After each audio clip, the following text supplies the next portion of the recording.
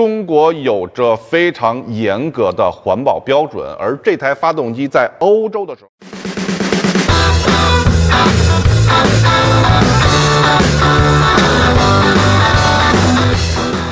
Hello，小伙伴，大家好，欢迎回到这一期的大标车呢，我是主持人薛俊峰，当然也是那个只会说真话的大平话。今天呢，就到了这台2023款速腾地盘的部分了。那前侧的话呢，我行人方向横梁这块呢会看得更清楚一些，然后再往后一点的话呢，就是水箱的框架，依然是工程塑料的形式。优点呢是重量轻，容易加工，能够做出更复杂的造型。那如果是金属的框架的话呢，成本会更高一点，会更难制造一点。但是呢，金属的韧性啊还是会有的。发生了非常小规模的碰撞的话呢，的确会好很多。然后我们继续向后看的话呢，会发现一个不太寻常的东西。我们能够在下方拆开护板的时候，清楚的看到副驾驶的纵梁更细一些，主驾驶的纵梁它有一个加强筋，也就是意味着对于主驾驶这一侧的碰撞呢，有了一种偏科的形式。碰撞测试嘛，也是越来越严格的，因为以前只是撞主驾驶这一侧的百分之二十五线性碰撞，而现在的话呢，两侧都是要撞的，所以说基本上都是两侧同时加强。但是像这种还在单侧加强的，其实不是很多了啊。好，那我们继续向后看，就是发动机和变速箱的部分了。右地壳是这种冲压钢板的形形式，然后后面呢是防油螺栓，前侧呢是机滤的位置，下面还是一个护板的，护板呢就是一个普通的塑料板，没有额外的开孔。那如果说想换机油的话呢，是要把这个护板呢完全给拆下来才可以的。我之前是有台老高四的，下面的护板啊真的是一个纯钢的护板，别提有多沉了。但是呢也是贼抗造。之前开高四的时候呢，我印象特别深，这个路呢就到这儿了，前面是能过的，下面有一根电杆子躺地下了，我就往前开，那个电杆子啊都是一边细一边粗，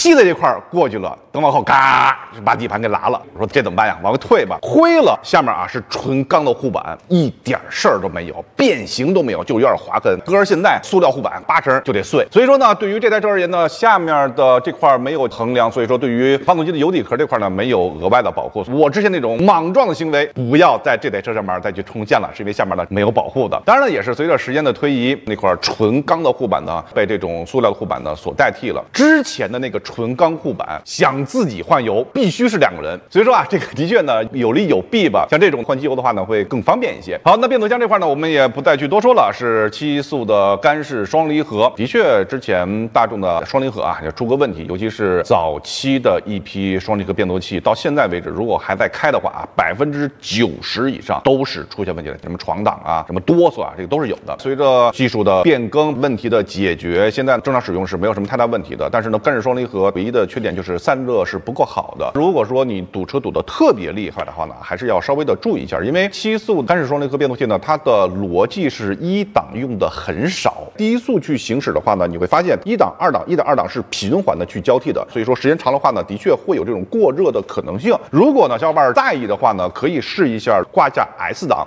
让一档呢用的更多一些，会减少换挡的频率。副车架呢是一个双层冲压钢板的形式，并且是一个一体式的副车架，这也是 M QB 平台非常标准副车架的形式，并且呢齿轮、齿条，包括说转向电机呢，也是在副车架的上一侧，还是有一个铝瓦去进行隔热的。它的传动轴呢不是一个等长的半轴，副驾驶这一侧呢会更长一些，主驾驶会更短一些。万向节这一块呢是有相应的橡胶的，并且这一块橡胶其实和一排气也是很近的，所以说呢，大众的工程师呢也是加了一个塑料片呢去进行相应的隔热。悬挂系统呢依然是非常标准的麦弗逊式的悬挂的，它的下摆臂呢也是标准的单层冲压钢板的形式。那相不同的是呢，我们在其他的一些 MQB 平台上呢，在下面看到一个塑料的护板，这台车上是没有的。如果在意空气动力学的话，为什么这台车上没有？对于这台官方指导价十六万零九的速腾，下面没有这个护板，这台车呢不便宜了，起码说让人从下面一看，哎呦，双层的，哎，看着特别厚实。仰角呢是铸铁的形式，刹车盘呢是通风盘的形式，刹车卡钳也是单活塞浮动式的转向拉杆的部分，下面螺栓有有非常明显锈的痕迹。转筋杆这边是没有问题的，其他的螺栓也是没有问题的。另外一侧也是转向拉杆螺栓是有生锈的痕迹，其他的位置呢都是 OK 的。下摆臂和球头的连接也是通过三颗螺栓连接的，像这种形式呢是比较容易更换的。轮胎呢品牌是韩泰轮胎，型号是二零五五五 R 十七九十一 H H 级别的轮胎，说不过去啊！你要说是个捷达呀、桑塔纳呀什么的，你用 H 轮胎呢，咬咬牙呢也就过去了。但是一汽大众 A 级轿车的扛把子用 H 级别的轮胎，有点说不过去的样子。那我们继续向后的话呢，就是整个底盘的部分了。那这台车呢，底盘跟传统的 MQB 呢是一样的，平整度是没有问题的，并且呢，前侧是有一个非常大的护板，后侧还是有一小块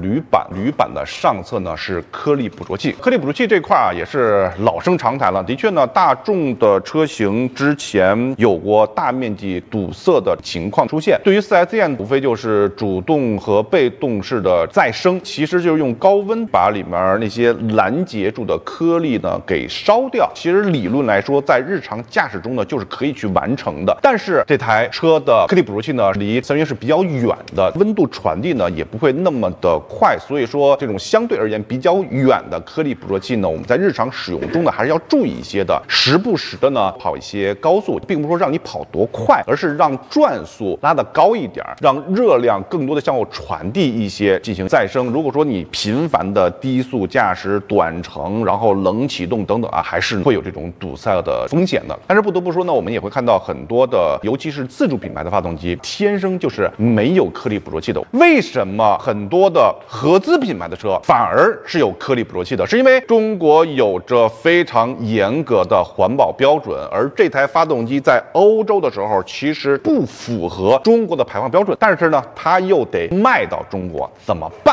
工程师一拍脑袋，颗粒捕捉器啊，因为颗粒捕捉器这东西吧不新鲜，柴油车基本上都有颗粒捕捉器，这也是被逼的没有办法了，装了一个颗粒捕捉器。但是呢，你装吧，装的聪明点也行，因为我们看到过很多的车颗粒捕捉器是在三元的下一侧，离得很近，这种就是非常友好，因为三元就是需要一个非常高的温度才能够去正常工作，工作的时候它是烧的通红的状态，这种温度会更容易传递到颗粒捕捉器，所以说它会更好一些，更不容易堵，因为再生的条件是非常好的。依然会看到四根管插在两侧，分别是压插法和温插法的方式全用上了，是因为他们呢心知肚明，堵的可能性比较高啊，怎么办呢？多加点传感器吧。很多的颗粒捕捉器离三元很近，就用一个温插法或一个压插法的这种测量方式就够了。这块呢就聊这么多吧。那我们依然会看到呢，两侧呢是有相应的护板的，管线是在塑料护板的内侧，排气的隔热呢做的也是非常到到位的，整个铝瓦从前到后几乎是没有空出来的地方。好，这块呢就不再说那么多了，继续向后，依然会在中央的部分呢看到有一根横梁拉一下车身。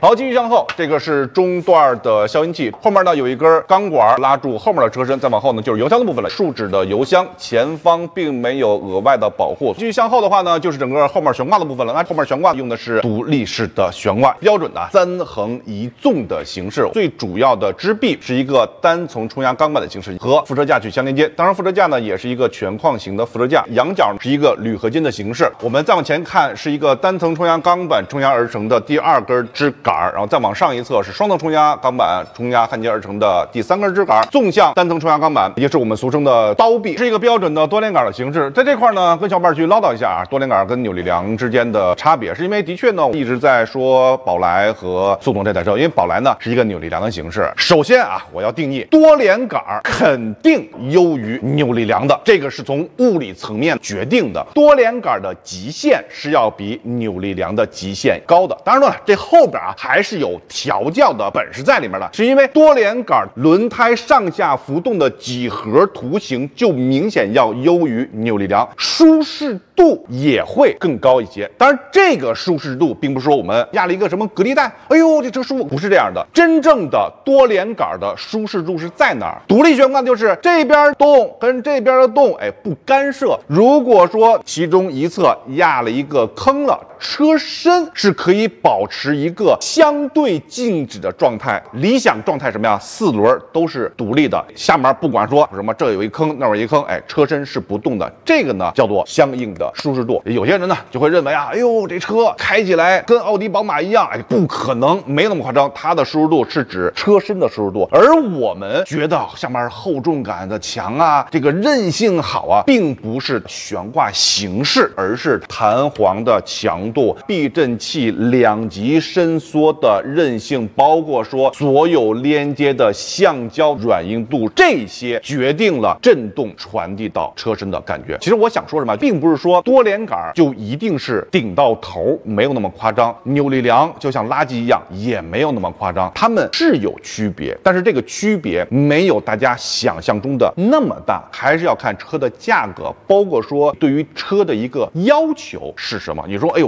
我就是必须要体验这种车的高稳定性，那就肯定是多连杆会更优一些。当然呢，后面一定是牵扯的，还有你调教的问题，就是说相同本事调教的这样一个工程师。你放心，多连杆调出来就一定比扭梁要强。好，这块悬挂呢就跟小伙伴去聊到这儿，那我们再来看一下刹车盘，后边是一个标准的实心盘的形式，轮胎呢跟前侧一样，也是韩泰的轮胎 H 级别的。那我们继续向后的话呢，我们也会看到呢底盘喷涂也是比较完整的，包括说左侧排气的部分隔热呢做的也是比较完整的。好，这块呢就是这台车在底盘部分呢，想跟小伙伴去分享的这些。那么现在呢也是回到车前，看看这台车在底盘的部分它的得分到底是多少。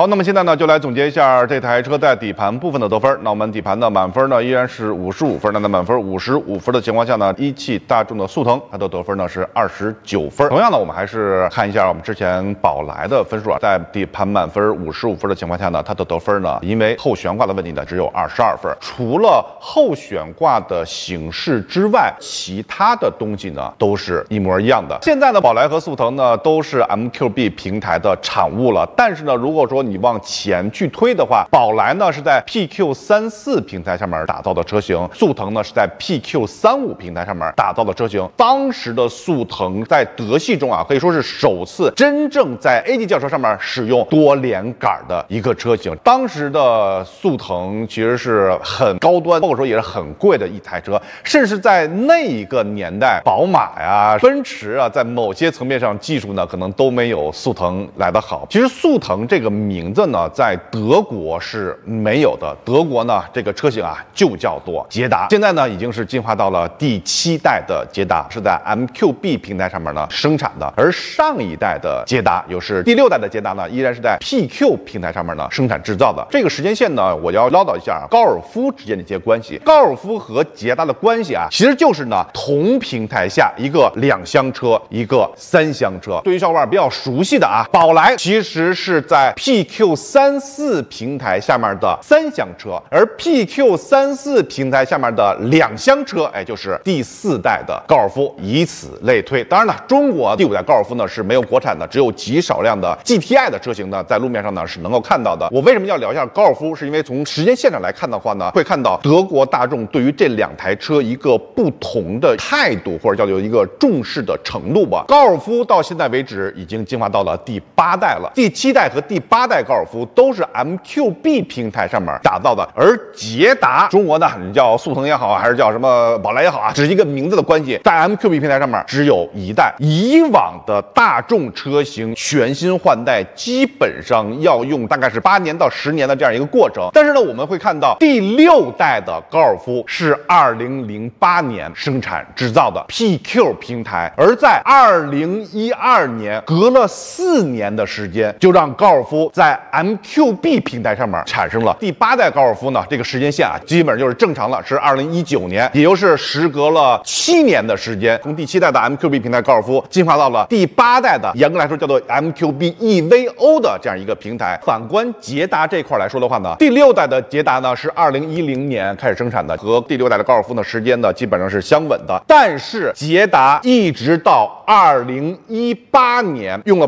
八年的时间才在 MQB 平台上面去打造高尔夫和捷达呢，现在是差着一代呢。高尔夫现在还是德国生产，捷达呢是墨西哥生产的。其实你去欧洲的话，尤其是去德国的话呢，基本上都是两厢车和旅行车的一个天下。捷达这种三厢的轿车，更多的是在北美市场，包括说墨西哥市场生产的。包括说第七代捷达也是在美国的北美车展上面呢首次亮相的。感觉吧，就是捷达吧，重视程度。没有那么高，在这台车上，大众现在主流的一个数字化平台这些配置呢都是没有的。它的确在德国这块就没有相应的更新，是因为他们会把更多的注意力呢放在高尔夫这个车型上面。今天国内的这台速腾也是呢，像现在这个样子啊，跟现在全新的高尔夫呢的确是有非常大的差别，差着一代呢。速腾而言呢，在很多小伙伴的心里面呢，还是一个好车的这样一个样子，因为不否认速腾在第五代平台，就是 PQ 四五五的这样一个平台，可以说在